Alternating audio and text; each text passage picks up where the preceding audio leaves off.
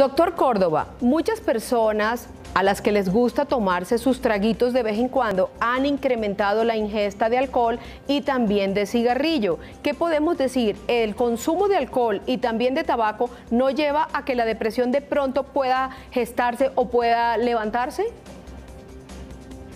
Eh, todos, todos hemos experimentado síntomas de ansiedad.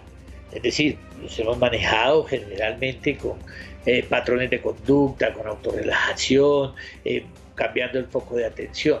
Pero existen unos elementos que siempre ha usado la sociedad de manera empírica, que es el tabaco, que es un ansiolítico, y el alcohol.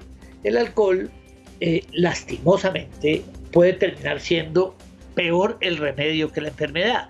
Porque tú como muy bien lo dices, seguramente alguien que se toma un trago para conversar con la familia, para conciliar el sueño, pues es una alternativa interesante, útil y a veces hasta saludable, ¿por qué no decirlo así?